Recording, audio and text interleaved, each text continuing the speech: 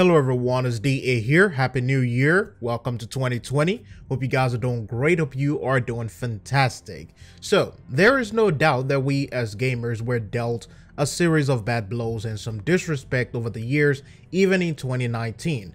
We didn't just deal with poor designs and unfinished products, we also dealt with poor gaming engines and poor optimization. But this year, let us talk about things that you as a gamer can do to improve your gaming experience other than not buying every single game. Yes, we're going to be talking about hardware upgrades and we're going to be talking about doing it for cheap and affordable prices. Gaming specs are not slowing down, but there are a couple of affordable hardware and models that you should start with. The first one is going to be your SSD or what is known as solid state drive. You could either get the regular ones or buy the M.2 NVMe cards. This type of drives use what is known as a flash memory, so their read and write speeds are a lot faster than your regular uh, hard drives or your regular optical drives.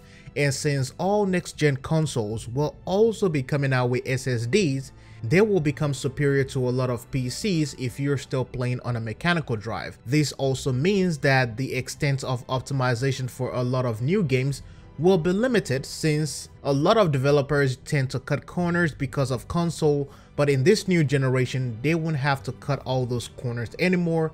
They will just be going full steam ahead. So you have to be aware of that.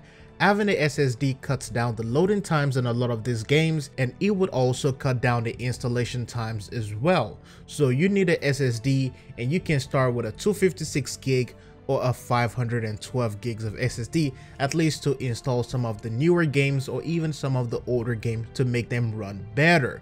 The next item on the list is going to be the RAM. RAM is relatively affordable and can go a long way when it comes to performance in PC in general. I will say that you need to have at least 6 gigs of RAM on your PC. I might even push it further and say you need to have 8 gigs of RAM on your PC. If you noticed, over the past two years, video games have been releasing with minimum specs of 6 gigs here and there. Everybody is not going lower than 6 gigs, and if you intend to be able to run some of these similar games or even newer titles in 2020, you need to have at least 6 gigs or above that itself just puts you in a safer margin where you don't have to keep on trying to upgrade or dealing with hardware limitations when it comes to some of these newer titles.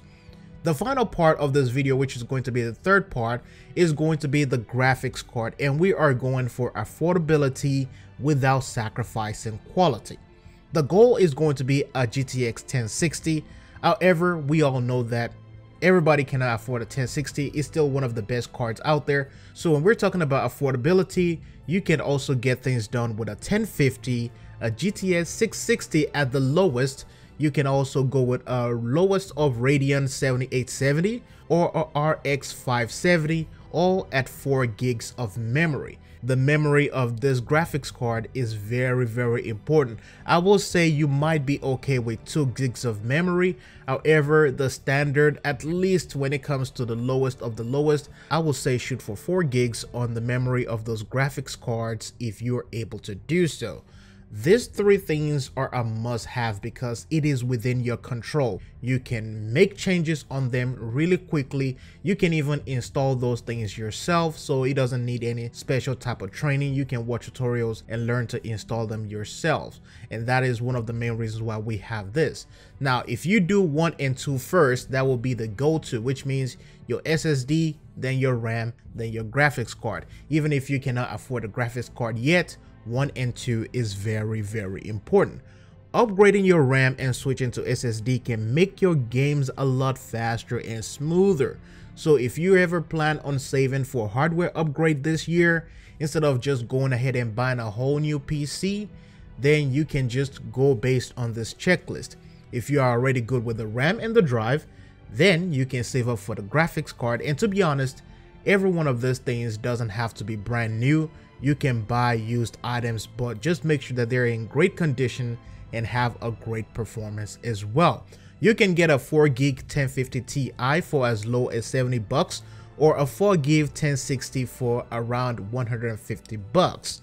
A SATA drive can go for as low as 20 to 30 dollars and you can also get two 8 gigs DDR4s for as low as 60 or 70 dollars. So that is also affordable. Now be sure to look up your pc online to see the upgrade capabilities. Some of you may only have a ddr3 slot and i know that is crazy in 2020 now if you're one of those people who is gaming on a laptop that is going to be a hard one because for a lot of laptops the only thing you can upgrade is the hard drive and maybe the ram so just go for the hard drive and the RAM.